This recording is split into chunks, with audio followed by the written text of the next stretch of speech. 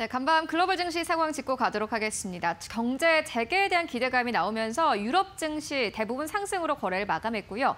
뉴욕 증시 3대 지수도 나스닥 지수를 제외하고는 상승 흐름으로 거래를 마쳤습니다. 다우지수는 0.7%의 상승 흐름으로 거래를 마쳤는데 특히나 운송 지수, 다우 운송 지수가 1.7% 이상의 강세 흐름을 나타냈습니다.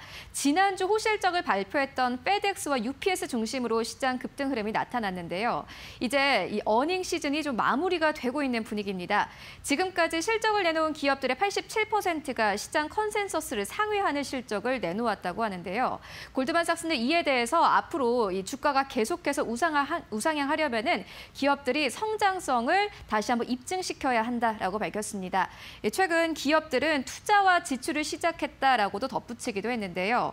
이 실적 발표와 더불어서 기업들이 내놓는 앞으로의 투자 계획 그리고 IB 투자은행 측에서 이 내놓은 내놓는 기업들에 대한 이 성장성에 대한 의견을 조금 더 꼼꼼하게 살펴보셔야겠습니다.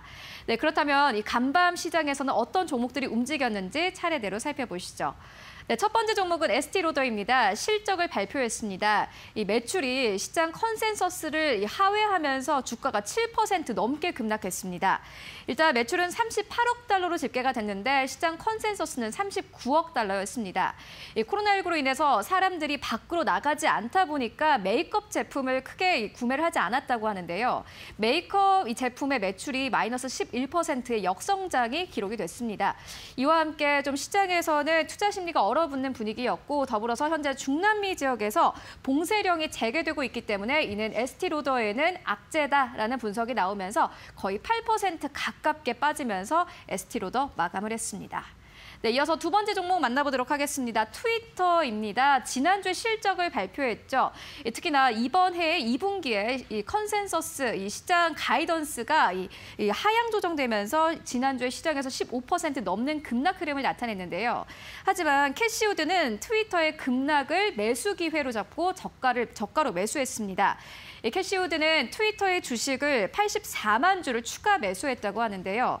특히나 Next Generation Internet ETF 에 46만 주를 확대했다고 합니다. 예, 더불어서 이 JP 모건 측에서도 이 트위터는 실적 발표 후에 하락은 매수 기회다라며 긍정적인 의견을 밝혔습니다.